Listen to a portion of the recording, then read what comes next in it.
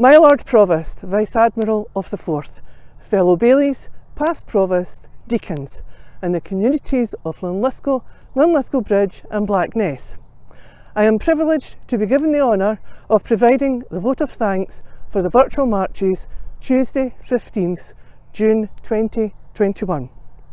Unbelievably, as a court and community, we have been placed in the position of a further year in a lockdown society, where we have been parted from our loved ones and friends in celebrating the riding of the marches in our traditional manner of checking the boundaries in person. But technology is a wonderful thing, and I hope you have been able to enjoy the contributions throughout the day.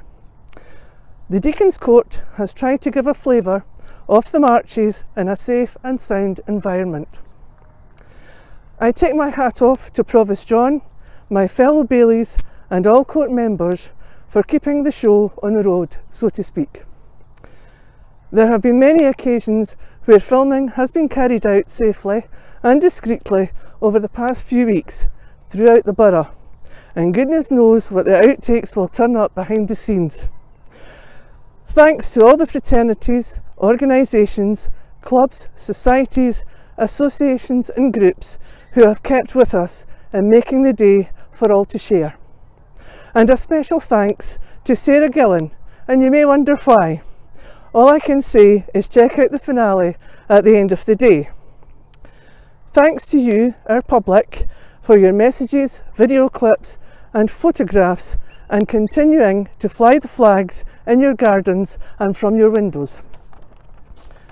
Thanks to all who entered our competitions, designed a float, dressed up, designed a shield, dressed shop windows. I mentioned earlier the amount of filming and recordings completed to make this day, and I'm sure you'll agree it's a hefty task indeed. The Deacon's Court would like to specially thank Deacon Stephanie Thompson for her dedication and hard work in pulling together our virtual marches for 2021, including this bit. There are a number of people I would like to thank. As it is, I don't know all their names. However, I am sure throughout the borough and the country, someone will know a hero who has worked or volunteered so hard in the last year in such difficult circumstances to get us where we are today. I sincerely hope things continue to improve. One year more to the riding of the marches 2022. It's going to be a great day. In the meantime, stay safe, long live Linlithgow and long live the marches.